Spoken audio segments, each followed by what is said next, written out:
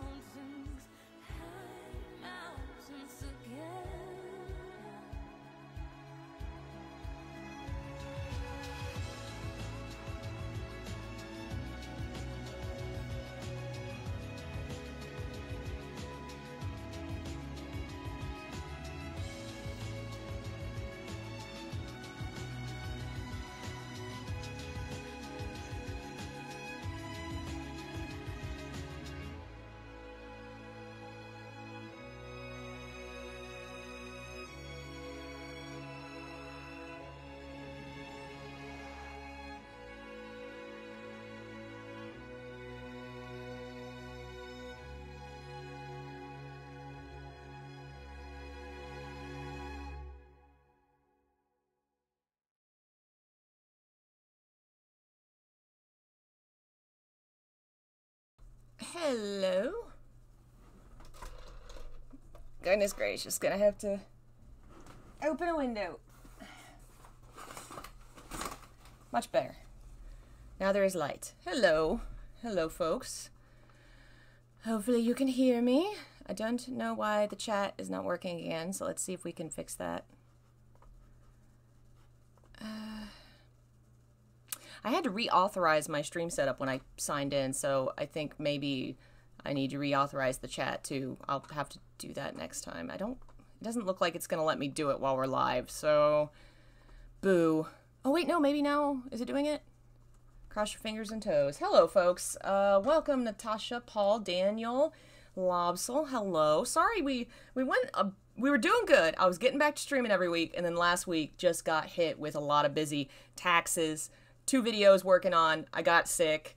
Uh, just had a lot going on, so I didn't stream. But uh, we got two essay videos coming this week, which should should be fun. Um, one on the nineteenth and the other one i don't know we'll, we'll see I, I, am not sure if i want to post it first or second uh, and we should be getting back to doing more normal streams today we'll be reading more golden terrace but before we do i was going to show off some stuff uh, hello ghost of sabotage hello daniel and tristan um, for those who don't know, Golden Terrace is a Chinese novel that we've been reading on the channel. Um, I used to do book readings a lot and then got sick and fell behind and all that jazz. But we're getting back to it and we're going to read a ton of different books. This is just the one we're working on right now. Let's see what chapter we left on last time. We were on, I didn't say. Let me go to the other channel and I posted it on the, the book channel. I can't type with all this stuff in my way. Anyway, so we're reading a Chinese book called Golden Terrace. It's quite good. And um, I bought a bunch of stuff. Don't play music. Uh, I. Alfred. Uh, I collect, you know, junk. That's my dog. And uh, I like to order the physical copies of the books from uh, China to uh, get some of the collectibles like artwork and uh, just various things that come with the collectible. There's a very very cool like system of of things that the special editions of books in China come with. And I also I've ordered other things. I, I get little figurines and my favorite books. And are we going back to Scum? Yes, we are going to go back to Scum Villain, of course. Um, did I ever turn off the background music? Yes, I did. Okay. Now, unfortunately, I can't turn off the background dog, but um, I love my boy. So uh, I ordered another package, and some Golden Stage stuff came, so I thought I'd show it. You know, Golden Golden Stage. That's one of one of the translations. This official translation is Golden Terrace. It used to be called Golden Stage. Uh, you know, we're we're at the part I think where they've just been commanded the two main characters to uh, be married to each other.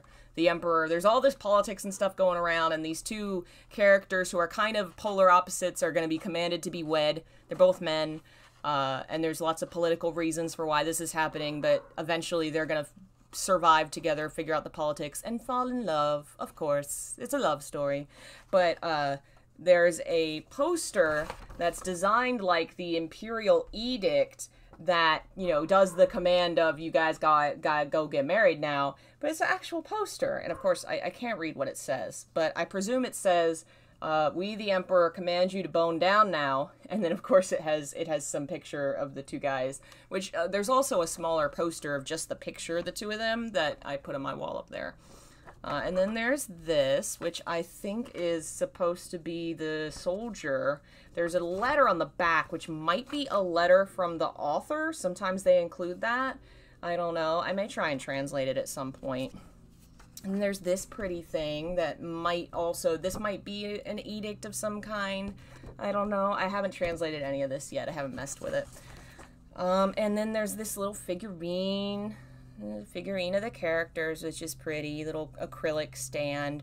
Uh, pretty small, but that's, you know, small enough it goes with the book. And then the actual books themselves are really gorgeous. The cover looks like this, but you can flip it to look like this. And it has the other character, like this, the uh, emperor guys on one, I think, and the soldiers on the other. I think this is supposed to be the soldier, and uh, the the inside is is really really pretty. Let me get to the. Well, that's the that's the first page. Uh, is this not the one that had the pretty inside art? I guess this isn't the one.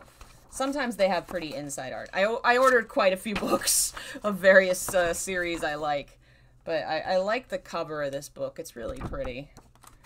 Uh, am I gonna learn the language? I've learned some. I know some like conversational Chinese uh, because I watch a lot of Chinese TV shows and I can recognize it. The problem is the reading of it, learning the symbols.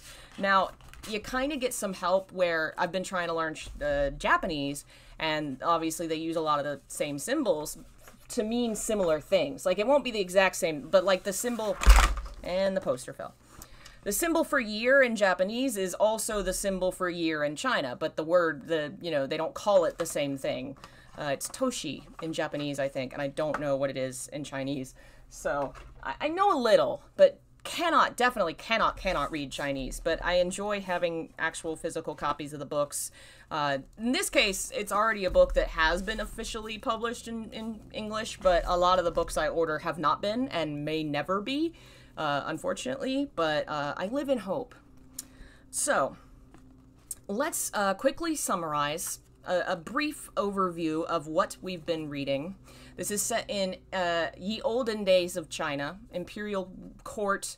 Uh, politics. There's it's not a real period of history, and I don't think they even give a approximation of the time period. But it's back in ye olden days. The two main characters are Fu Shen and Yan Yan Xiaohan. And Fu Shen was a general in the military, like beloved by the soldiers. He helped protect the country from invaders. He's a great military hero, but he ends up injured and permanently disabled and has to retire.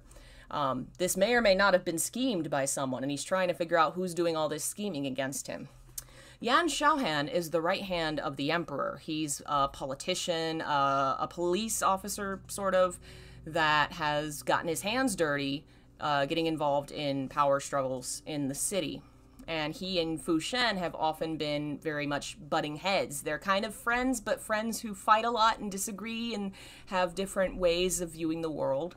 And Yan Xiaohan has gotten involved in this thing because the emperor has decided uh, Fu Shen is a threat. He, he's afraid of Fu Shen and his military power and how popular he is, so he wants to curtail him.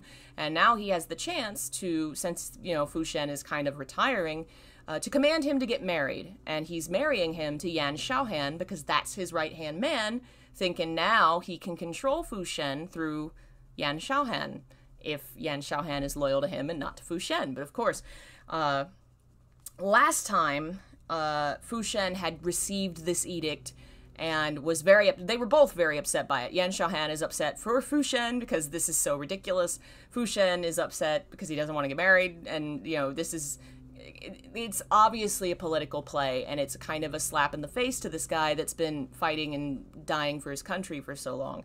Um, last time we ended with Fu Shen being very ill in the rain because he'd been kneeling for so long, and Yan Xiaohan caught him and is probably going to go take care of him, presumably, in Chapter 9. Hello, folks joining us. Chapter 9 Fu Shen! An indistinct cry sounded in his ears. He was still conscious. It was only that his body had lost all sensation. The sound of the rain clung to him like his shadow. Someone bent down and lifted him in his arms. There seemed to be something familiar, familiar, something familiar about the feel of those arms. He was reminded of the warm embrace he had been pulled into when he'd fallen on the ground a few days ago, and of the gentle hands that had patted his back long ago. Who was it? He was taken to a dry and narrow cage, forced to leave that warm chest that was neither too soft nor too hard. He hadn't yet had time to fully enjoy it. His temper immediately flared. He abruptly reached out to seize that person's collar, fiercely pulling toward himself. Bang. Lord Yan, who hadn't had the time to straighten up, toppled into the carriage, landing on top of the Marquis of Jingning in a pose very offensive to public decency, and Fu Shen, living up to expectations, was at last knocked awake by him. Yan Xiaohan hadn't expected this sickly ghost to be able to rise from the dead even after fainting. He was just about to get angry when he happened to meet Fu Shen's eyes. There were still raindrops hanging from his eyelashes on the point of falling. His gaze was unfocused. It actually looked as though he was going to cry. Though he knew very well that this was false, Lord Yan's anger was still extinguished in spite of himself. He got up and sat up straight. Quietly, he asked, How about you come to my manor for now and let Shen Yisei have a look at your wounds? He was a little concerned about the condition of Fu Shen's injuries. After all, he had been out in the pouring rain, kneeling on stone tiles for over two hours. Catching a chill was nothing to play around with. Fu Shen may or may not have understood. He gave an indistinct, hmm. His eyes were half closed in weariness, and he didn't even have the strength to speak. He leaned against the wooden side of the carriage as if boneless, the carriage heading toward Yan Manor. The capital's roads were level, but Fu Shen was still jolted from side to side. Yan Xiaohan observed with rapt attention for a long time, then finally extended a tentative hand toward Fu Shen. As expected, before he could get close, the person who had his eyes closed, pretending to doze, struck like lightning, precisely grabbing him by the wrist. What? Yan Xiaohan said, Does something hurt? Confusion flashed over Fu Shen's face. Everything hurts. Why? His fingers were ice cold. Abnormal warmth came from his palm. Yan Xiaohan sighed. He twisted his wrist and cleverly flew, threw off his grip, then raised a hand to check the warmth of his forehead. You're feverish. So feverish it burned his hand. But Fu Shen himself had no sense of it. He also reached out to feel. Mm, it's not hot. Yan Xiaohan said, That's my hand you're feeling. With the back of his head as a fulcrum, Fu Shen turned around to face him and carelessly said, It's nothing, I'll just sleep it off. He was used to toughing it out anyway. For minor illnesses and aches, he could go to sleep and be fine when he woke up. Unfortunately, this time the method seemed to have stopped working. On the way from the palace to Yan Manor, the imperfectly healed internal injuries and the chill he'd taken from the pouring rain erupted at once into overbearing illness. Adding in his overtaxed en- energy and mental and physical exhaustion, Fu Shen was a little delirious from fever. When it was time to leave the carriage, he was completely unconscious and wouldn't wake, no matter what. There was nothing Yan Xiaohan could do. He had to personally carry him inside. Each and every one of the servants awaiting him outside maintained a correct attitude, not daring to breathe loudly. Yan Xiaohan was a strict master.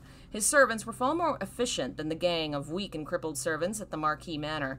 Soon they had readied bathing tubs and hot water, laid out clothing and blankets, and came to invite the two of them to bathe.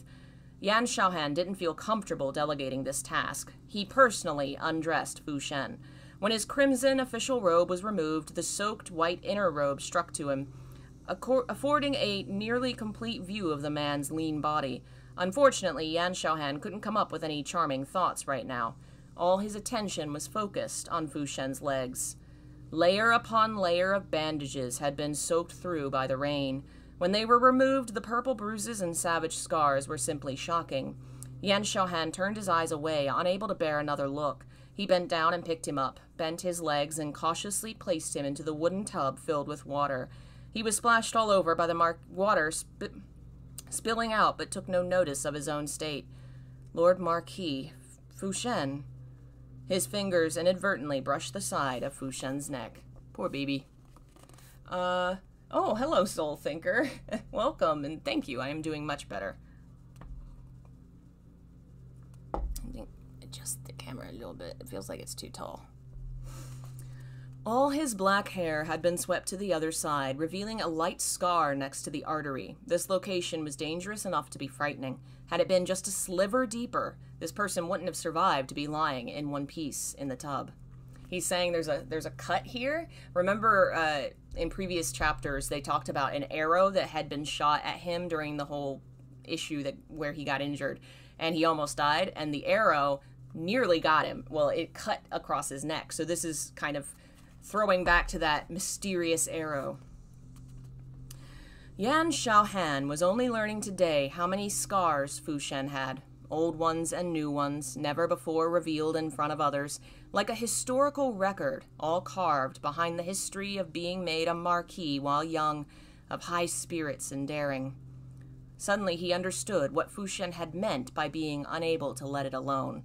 If he had not once trusted the Emperor, had not once placed the nation in his heart, what reason would there have been for him to put on heavy armor, go time after time onto the battlefield and toward almost certain death? Weren't the ancestral blessings of the three dukes enough to let a wealthy and high ranking young master live in comfort and ease? Yan Xiaohan called a young page from outside and pointed to the Marquis of Jingning in the tub. Keep an eye out, don't let him fall into the water. There was a screen in the bathing room separating two spaces. Yan Xiaohan went around to the other side, quickly rinsed himself clean and wrung his hair dry with a towel, coiled it on top of his head with a hairpin, changed clothes, then returned to Fu Shen's side. The young page had never seen him take care, care of anyone. He couldn't resist so stealthily looking on, inwardly amazed.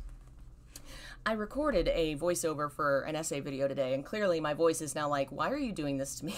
I keep stumbling when I wouldn't usually.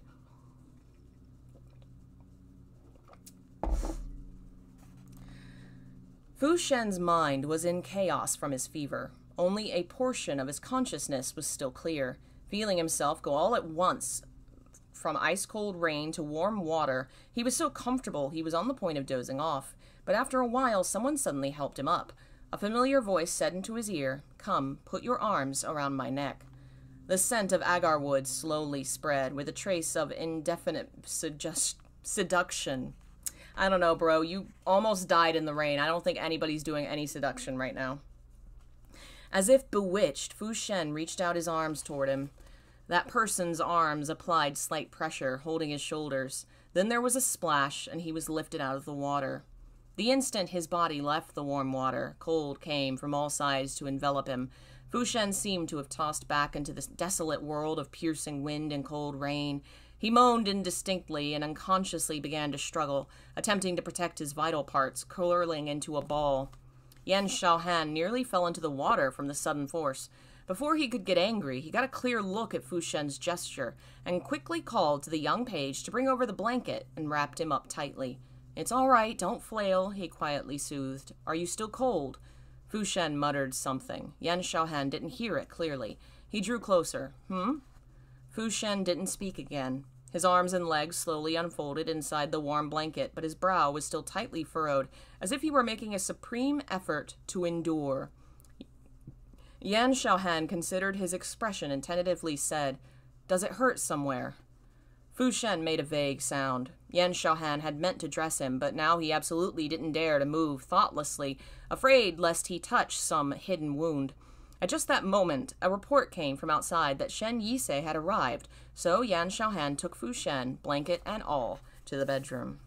I love this setup so much. And this chapter is very emblematic of why I love this book and what it's doing. Because Fu Shen is the soldier that's always had to sacrifice and defend everyone else, and Yan Xiaohan is the politician who's always had to sacrifice his his own desires and hurt others, act, as the sword, the blade. He's never been allowed to care for someone, and Fu Shen's never been allowed to let someone take care of him. And here we see situation has forced them into fulfilling those two things. The, what was empty in their lives, they are becoming for each other. Fu Shen has someone to care for him. Yan Xiaohan is allowed to be gentle with someone, and that's going to develop into their relationship. Shen Yisei saw him come in, carrying Fu Shen, who on top of that had his hair loose and was undressed, and his eyeballs nearly popped out of his sockets from staring. Th- that, that? Stop that, Ing. It's the Marquis of Jingning. Yan Xiaohan put Fu Shen on the bed. He spent two hours kneeling in the rain and passed out from fever earlier. Have a look. Can you bring him back to life? Shen Yisei thought that the frequency of the Marquis of Jingning's appearances had been rather high lately, but he didn't think too much of it. As he took Fu Shen's pulse, he said, What happened? He can't even walk. Why would he get up and go kneel in the rain out of nowhere? Your Honor, were you also out in the rain just now? Have them prepare a bowl of ginger tea. Yan Xiaohan waved a hand irritably. He didn't want to mention that mess. Shen Yisei was very tactful. He didn't keep asking. He concentrated on taking Fu Shen's pulse from each of his hands, then lifted aside the blanket to have a look at his legs. He wrote out three prescriptions and sent someone to prepare the medicine, while he himself washed his hands with hard liquor and dressed Fu Shen's wounds anew. He cried out in pain before. Do you think there are other injuries? Yan Xiaohan asked, frowning. Shen Yisei suspected that the Imperial investigator's brain had been washed away by the autumn rain. He patiently explained, Not even knees made of iron could take kneeling on the ground for two hours. Never mind that his kneecaps had already been broken, and the injuries had yet to heal entirely. Getting them wet would cause them to swell and ache. Also, he continued, pointing out the window at the gloomy weather, soldiers like the Marquis of Jingning all have old wounds. This kind of weather is what they fear most. To tell the truth, if the average person were in this kind of pain, he would have been rolling around on the ground by now. At this, Yan Xiaohan sighed softly with emotion. The average person couldn't become him. Putting on armor and going out onto the battlefield before he was old enough for the capping ceremony, winning a wealth of military honors with his life at stake, keeping the peace at the northern frontier for years, Sadly, while he had dodged countless direct spears and hidden arrows, he hadn't dodged the knife coming from behind. Old enough for the capping ceremony refers to the coming of age ceremony at the time. Uh, when you were 20 years old, you you basically get a fancy hat, and you're an adult now. If you're a man, uh, there there wasn't an equivalent for women in China, I don't think. So he was still a teenager when he first became a military general, because I think the rest of his family died. To tell the truth, when Emperor Yuan-tai had brought up having him take over the Beiyan cavalry, for an instant Yan Xiaohan had been excited. Though the Long Guard had a high position and great power, they were the target of curses from practically the whole court. And however just and noble the Imperial Guard may have been, in the end it was not a good place to make a brilliant career. Among the men of the times, who hadn't thought of holding power over the Beiyan cavalry like Fu Shen, to gallop over the battlefields to wipe up the invading enemy. Who hadn't thought, if that were me, how they would put their aspirations to good use, what kind of brilliant career they would make? But was the position of commander of the Beiyan army one that could be held merely through good luck? Before the 10,000 li of the Great Wall could be destroyed at the hands of external enemies, they would be torn down by their own people. Sad face. Oh, sad face. Here, I lost something. Why did you close? There you go. Uh, Your Honor, while Yan Xiaohan had been lost in thought, Shen Yisei had nimbly finished dressing Fu Shen's wounds. He spoke suddenly. While you perhaps are unwilling to take trouble on this account, as a doctor I must still say something. The Marquis of Jingning's wounds, I fear, will never heal entirely. He has run a fever twice recently, each time taking each time more dangerous than the one before. His body can no longer take any torment. The women would be going through I don't know if this is that time period, Ghost of Sabotage. I'm not sure. I know that feet binding was a thing at that time. I don't know if it was all classes or all periods, but but as far as like coming of age ceremonies, they didn't really have an official one as far as I can remember.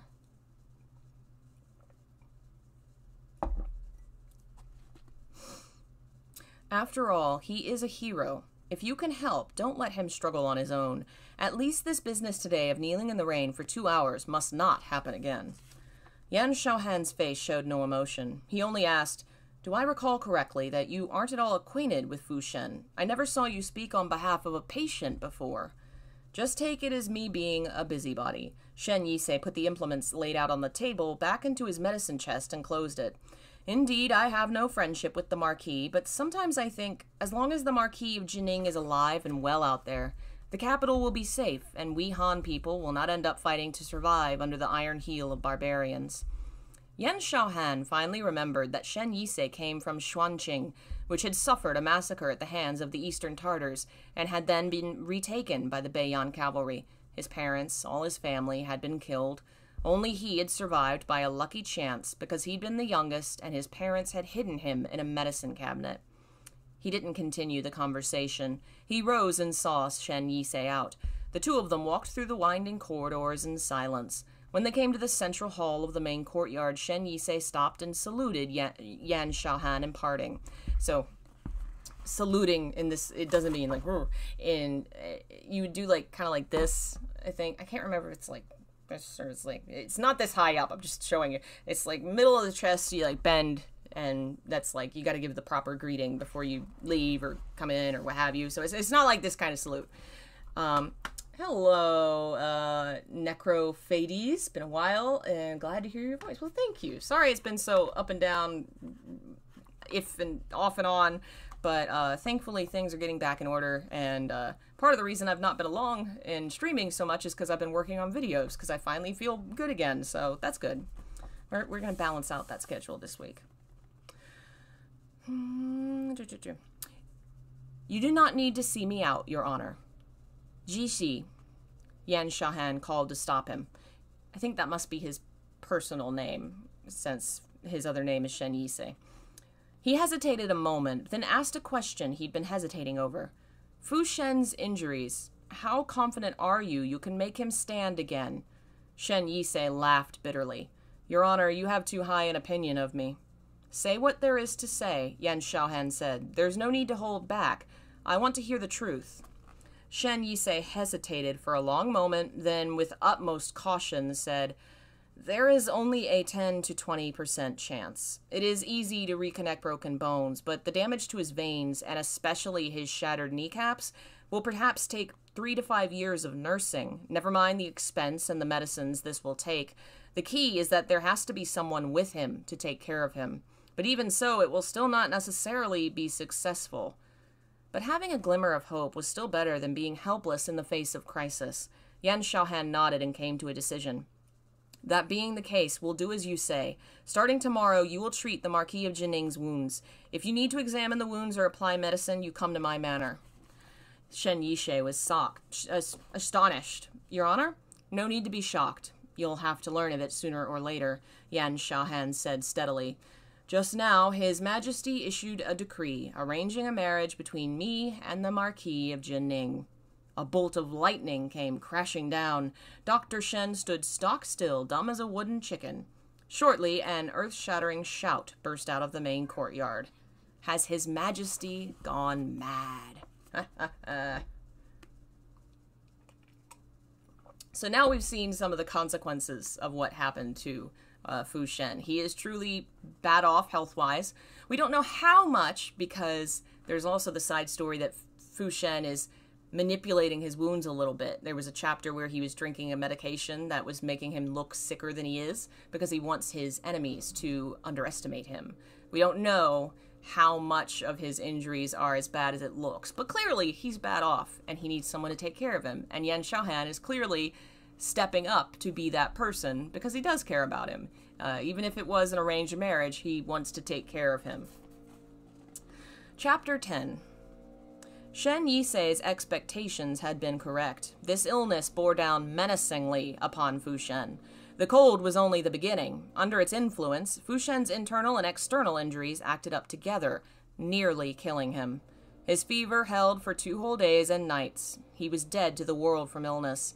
Yan Xiaohan used every means possible to reduce his temperature, rubbing him with hard liquor, laying cold towels on his forehead. He hardly had a chance to close his eyes.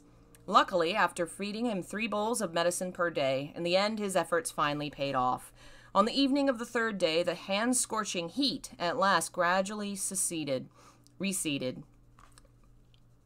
I keep spilling two sentences together. I put stabilized and receded together to be seceded. His illness left the country. While Fu Shen had yet to wake, his condition had stabilized. Yan Xiaohan could finally manage an uninterrupted night's sleep. And Fu Shen's energy had been completely sapped by the illness. He was unconscious for another full day, but that night he came thoroughly awake in the middle of the night. It was the dead of night, not a sound to be heard. The room was dim. The bed and curtains were quite different from the arrangement he was familiar with. There was only one lantern on the table, lighting a small area around it as if obscured by fine gauze. He caught the faint sound of breathing, turned his head, and found that beside the bed a low cot was laid out. Yan Xiaohan was curled up with his back toward him, sleeping fully dressed. The tumultuous memories from a few days earlier slowly returned to his mind, but they could no longer raise billowing waves. They had all turned into a hidden current surging below the surface, constantly sinking into the unfathomable depths. Fu Shen's whole body hurt from lying down too long. He wanted to roll over to relax his stiff and aching back. He hadn't expected that as soon as he moved, Yan Xiaohan would wake. He rolled over, sat up, and reached out to help him.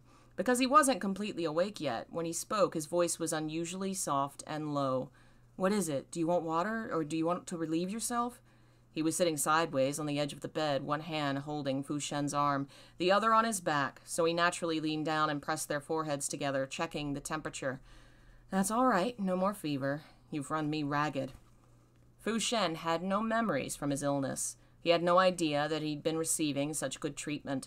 At the outset, he almost didn't understand. When he realized something was off, he immediately leaned back to avoid him. Um, it's fine. What time is it? Can you help me sit up for a while? The sleepiness gradually faded, and Yan Xiaohan's eyes finally became clear. He silently helped Fu Shen sit up and lean back against the headboard, then took three steps back and sat back down on the low cot, putting a polite and unfamiliar distance between them. The atmosphere was awkward. The two of them seemed to wake simultaneously from a mental breakdown. Without prearrangement, they dispelled distractions and remembered that between them lay a preposterous arranged marriage. No matter how powerful its political implications, and regardless of whether it was an out and out conspiracy, however unsuitable a romantic match might be, even between two men, that did not alter its basic nature. It was still a marriage. It's after midnight. Today is the eleventh day of the tenth month. Yan Xiaohan said. You've been sick for several days.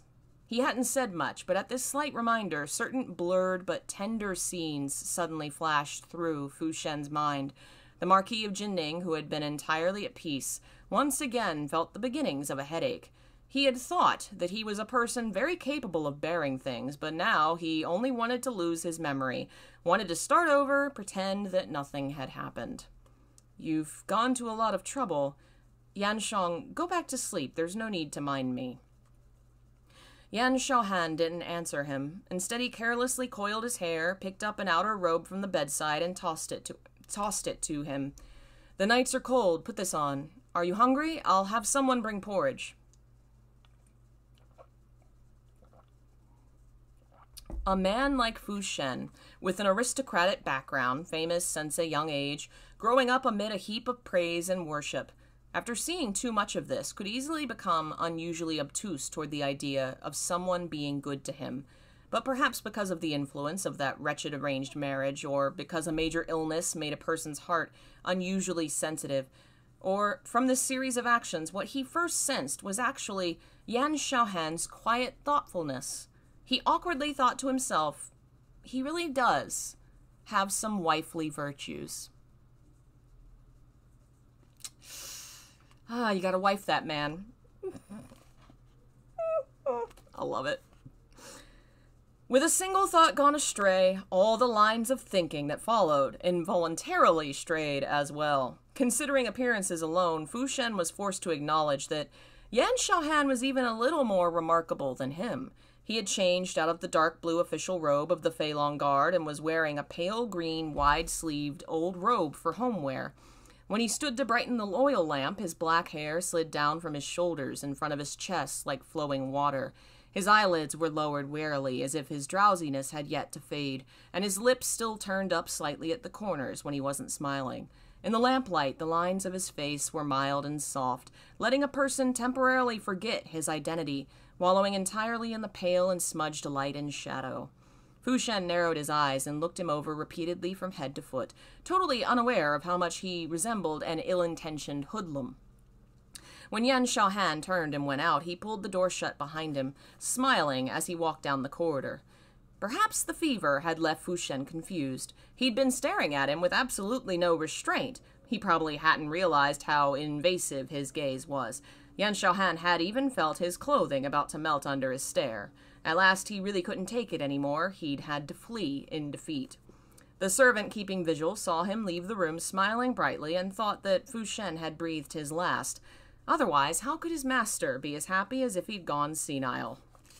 When the warm porridge was brought, the two of them, having after having been possessed, finally returned to normal. Fu Shen sat across from Yan Xiaohan holding a bowl in both hands. The heat brought a bit of color to his pale lips and cheeks and managed to straighten his spine. At last they could calmly observe the bumpy road ahead, covered with thistles and thorns, and consider where they ought to step. Yan Xiaohan spat out the tea he was using to rinse his mouth, put his tea bowl back on the table, and spoke first. Lord Marquis. Fu Shen was slowly drinking his porridge. Hmm? Yan Xiaohan said, I have some questions that I hope you can clear up for me. Listen, Lord Yan. Fu Shen put down his spoon and carelessly crooked, crooked, and carelessly crooked the corners of his mouth. He carelessly crooked. Okay, I don't know why I read that as crooked. I was reading that wrong. He carelessly crooked the corners of his mouth, like he's like he's smirking. We are grasshoppers tied to the same string, so you can stop Lord Marquis this and Lord Marquis that. You're being very distant. There was a tacit understanding implied by this mockery. Yan Xiaohan had to admit that while Fu Shen was rather stubborn in some respects, the majority of the time he was still relatively candid and clever. Having dealings with a smart person like this, he didn't need to beat around the bush too much. Since you say so, then very well, Yan Xiaohan said, coming to terms. Jing Yuan, from what His Majesty said the other day, it seems he is extremely dissatisfied with you. Did you recently go behind his back to do something that offended His Majesty? Don't use such an intimate address either. Having choked himself, Fu Shen said helplessly, Can't you just use my full name? So, what just happened? Uh, hello, welcome. I am doing well. What just happened is, uh, back in ye old China, you had a personal name and a public name, basically. So Fu Shen is his public name, anybody can use. Uh, Shen being his first name, Fu Shen, Fu is the last name. Uh, his private name is Fu Jingyuan, which like his family, his friends would use, and just calling him by his first name is very, very uh, intimate, like child, and uh, it'd be like I guess like spouse, which they will be soon, but they aren't yet. And so Fu Shen, you know, told him, let's not call each other lords, you know, let's not be so distant and Yan Xiaohan jumped immediately to calling him baby girl, basically being like, "Hey, you know, if we're not gonna be distant," and he's like, "Okay, wait, a little dis, a little, like, call me by my full name."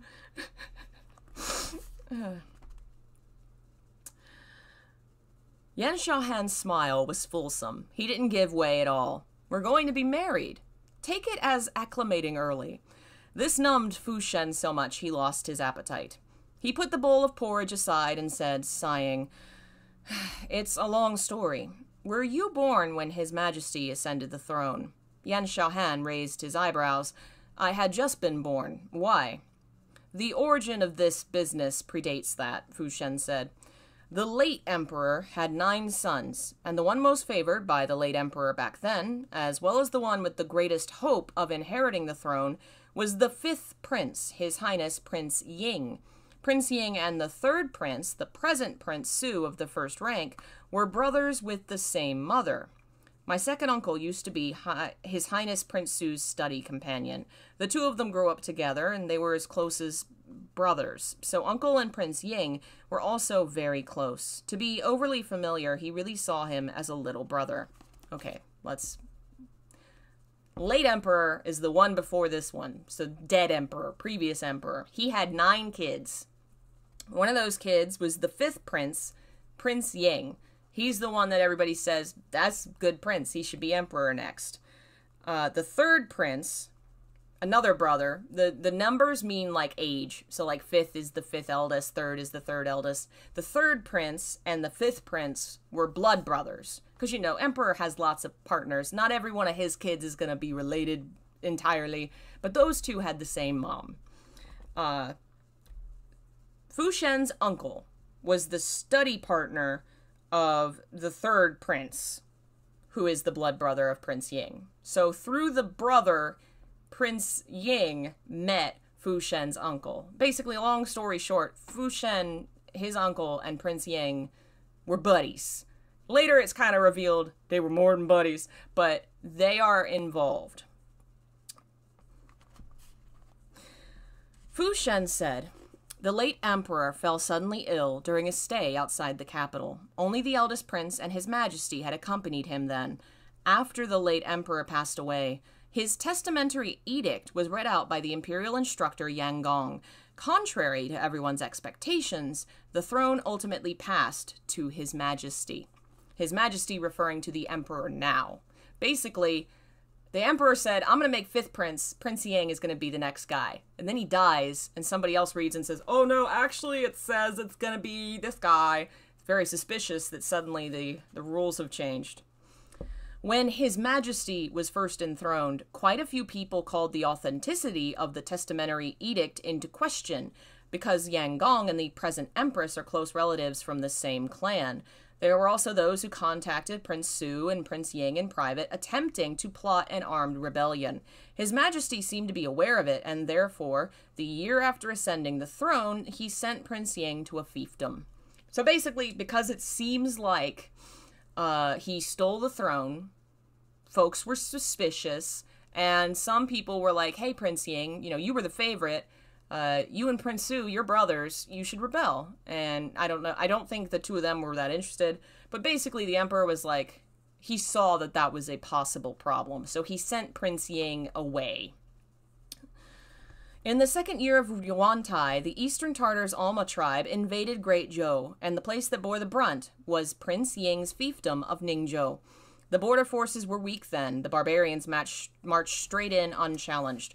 Prince Ying led his Manners Guard in resisting the Eastern Tartar cavalrymen and went missing after several days of fierce struggle. Prince Su and my second uncle sent searchers in multiple directions but came up with nothing. Under the circumstances, it was very unlikely he'd survived. Over time, this matter slowly faded from people's memories. No one mentions it now. But they never gave up on looking for Prince Ying. After Uncle passed away, it fell to me. Who could have thought that heaven never leaves people without hope? I really did find Prince Ying's child. So wrap all that up. Uh, what happened is the current emperor stole the throne from Prince Ying. Prince Ying was friends with Fu Shen's family, and he disappeared in battle, uh, somewhat mysteriously. Could have been, you know, could have been a, a, a, plot, or maybe he just just battle and bad things happen. But the family has been looking for him ever since, and now Fu Shen has found his child, not him, but his child. Now, why is that bad? Because in China, there was this. There's this thing called the the mandate of heaven. Basically, you know how English kings had the whole like, well, God made us king, and that's why we're king, and and like the bloodline thing meant that they were allowed to have the throne no matter what. In China, it didn't work that way. The mandate of heaven basically said the heavens have uh, uh, blessed and chosen this person to be the emperor, but if things happen that are bad, that tend to make it look like, oh, well, there's so much poverty, so much flooding, so much death. Clearly, the heavens don't favor you anymore. You can't be emperor anymore. So it, it, the the position of emperor was a lot more tenuous because it could be easily interpreted that the gods no longer favored you and things could be turned against you that way. So in this case, if people wanted to start a rebellion, they could easily argue, oh, well, he stole the throne back then, so the mandate of heaven was never his. The gods clearly don't favor him. This and this and that and this are happening. So here's Prince know, the son of Prince Ying. Clearly, the mandate of heaven favors him. We give it to him. So Fu Shen has pissed off the emperor. We finally know why because he found this kid and saved him. Now, of course, Fu Shen is not trying to throw a rebellion. He's fulfilling the duty his uncle left to him because he is loyal and noble, but it has gotten him in trouble. Yan Xiaohan was astonished. When Prince Ying died in battle, one of his concubines was pregnant. She was captured by the Eastern Tartars. Because she was beautiful and sophisticated, they actually let her live. And later, she became a favored concubine of a powerful official in the Eastern Tartar tribe she preserved the last drop of Prince Ying's blood. She wanted to take the child and escape back to Great Zhou, but sadly she was picked up midway by Yuji herdsmen and had to hide her name and identity, pretend that she was a Han woman who had been bought, give herself to the head of the Yuji tribe, Hatu. More fortunately, not long after she escaped, the entire Alma tribe was destroyed. There was no one left on Earth who knew her original identity. This remarkable woman outlived the previous head of the Uji tribe and is now among the highest nobles of the Eastern Tartars. Now that I've said this, you ought to know who she is. The Eastern Tartars' previous head Ta- Hatu and their current head Orki's wife, Yan Xiaohan whispered. Hash Khatun, is it really her? Fu Shen said, Prince Ying's given name was Hun, a kind of jade, and Hash means jade in the Eastern Tartar language. Yan Xiaohan said, so, where is Prince Ying's child? Fu Shen said, It was the Battle of Sichuo, Siqiu Pass. X I K X I Q I U. Siqiu. Still have trouble with those sounds. Mm. Uh, hello. Thank you for joining us, folks. Just watch Stand By Me. Hmm, I haven't seen that, I don't think. All right, where was. I hadn't wanted to interfere, but Hash Khatun sent a trusted aide to Beiyan to see me, asked me to take Prince Yang's child back to Great Zhou, so I passed on a message to Prince Su. During the fifth month, he personally came to Beiyan to see the envoy. He determined that Hash Khatun had indeed come from Prince Ying's household. Yan Xiaohan said, So you agreed. As if he had closed the most crucial link, cause and effect automatically laid itself out in an instant, all the things that had happened in the past suddenly had a clear sequence. You agreed to what the Khatun asked, and the compensation she gave you was the Uji tribe begging to surrender. So they could legitimately stay in Great Zhou, she placed Prince Ying's child with the Eastern Tartar diplomatic mission, accompanying the young prince to the capital. Isn't that right? Yan Xiaohan stared at Fu Shen's legs. But the Eastern Tartar diplomatic mission was ambushed in the Qingsha Gap. There were no survivors. Fu Shen softly said, what do you think? Does His Majesty know about this? The Feilong Guard were the Emperor's eyes and ears, the sovereign's thugs. If even Yan Xiaohan hadn't known something, how could His Majesty know it? But if His Majesty didn't know it, why would he be so insistent on getting rid of Fu Shen? Perhaps His Majesty has great trust in you, mockery flashed in Fu Shen's eyes, but maybe he hasn't given you all of his trust, Lord Yan. This was his true objective in holding out and telling his story despite his sick body. Yan Xiaohan had meant to test Fu Shen's depths, not expecting that Fu Shen would strike back by sowing discord. Neither of them understood the other's true thoughts. Yan Xiaohan suspected that Fu Shen had a backup plan, that Fu and Fu Shen was on guard against Yan Xiaohan taking the emperor's side. The two of them spoke candidly, but in secret it was one probing attempt after another non-stop. Neither dared to give his entire trust, even though they were both already standing on the same damaged ship in imminent peril. Yan Xiaohan blurted out not remotely sincere praise. The Lord Marquis is very crafty. my deliberations are not as comprehensive as Lord Yan's. Fu Shen returned the compliment. He said deliberately, I can also tell you one more thing. I did not leave Yanzhou and return to the capital entirely because of the injury to my legs. It was also because my people made new arrangements for the route the diplomatic mission was to travel, arrangements that had slight discrepancies from what the Tartars knew. Among those discrepancies was the Qingsha Gap, and among the Eastern Tartar diplomatic mission there was a 22 year old envoy with Han blood. Yan Xiaohan said, The Lord Marquis is suggesting His Majesty has a spy in the Beiyan army. Fu Shen said, The Eastern Tartars didn't know that we had changed the itinerary, and the Beiyan army, which arranged the route, didn't know the Eastern Tartars had a different itinerary. This double sided plan was privately settled on between Prince Su and me in the interests of security. Speaking plainly, only the two of us knew that the Eastern Tartars and the Beiyan cavalry had two different itineraries. At the outset, his objective in making all these arrangements had actually been to take precautions against plots by the Eastern Tartars, not expecting that in the end he would take a tumble along the route only his people knew about. The bolt in the Qingsha Gap had shot through the peace that had been plastered over for many years, and it had completely penetrated the long buried fear in Emperor Yuantai's heart. Fu Shen smiled. Do you know among the Beiyan cavalry what kind of people could take part in an assignment concerning Prince Ying? Those with long service records, with high positions, with the right to speak, individuals who had the rank of general at the very least. In arranging this marriage for me, His Majesty was purely concerned about Beiyan's military authority, so he went looking among the dwarves for a general and picked you, right? Fu Shen said unblushingly. Lord Yan, while I've had enough of occupying this lousy position, on account of your kind intentions in sheltering me, I still have to give you a word of advice. Don't be fooled by the fact that His Majesty trusts you now. Once you've taken this position, that will no longer be a certainty. A majority of the Beiyan army is made up of my trusted subordinates, and a minority is made up of His Majesty's one spy. That spy isn't on your team. If all my trusted subordinates go to seek refuge with you, then you'll be the next Fu Shen. If my trusted subordinates are unwilling to rely on you, then you'll be nothing but a figurehead. And His Majesty can never permit you and that spy to team up. He isn't only taking precautions against me, he's taking precautions against everyone. So, to explain that, Fu Shen just explained the whole reason he and the Emperor are now at odds, because the Emperor fears rebellion that could be fueled by Prince Yang's child and people thinking to put the child on the throne.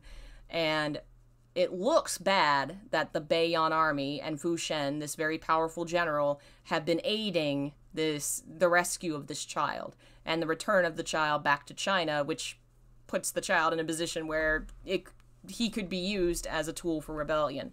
And of course, the emperor has known all this because he's been spying on him. He's been spying on everybody. But Yan Xiaohan didn't know any of this, even though he's the emperor's right hand man. And Fu Shen's saying, look, even the emperor doesn't trust you. He doesn't trust anybody. You, you know, as soon as you are a danger to him, he'll turn on you too. And even though it now looks like uh, the emperor has given him this marriage and possibly is trying to give him the position of taking over the cavalry, as soon as he's in charge of the cavalry, he becomes the dangerous military general. And basically, Fu Shen's kind of warning him, like, hey, you know, the being loyal to the emperor is not going to get you everything because look what it got me. And of course, we are going to see the two of them uh, figure this out together, figure out uh, who the spy is, why things have gone the way they are, you know, who's uh, who's behind the attack and various different things. And there's more plot and more drama and more romance. We're about a fourth of the way there, it looks like. Book one, there is two books. But after we finish book one, we'll take a break and read something else. Uh, one of the books that's unfinished on the channel.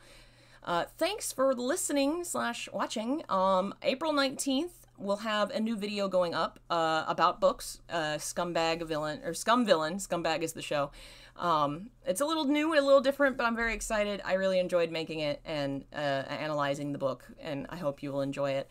And a video game uh, documentary, a short one, on a game called Otogiriso, a Japanese sound novel and horror story, should be going up in the next couple days. It, it, it'll be soonish. So you have those two to look forward to, and more streams as well.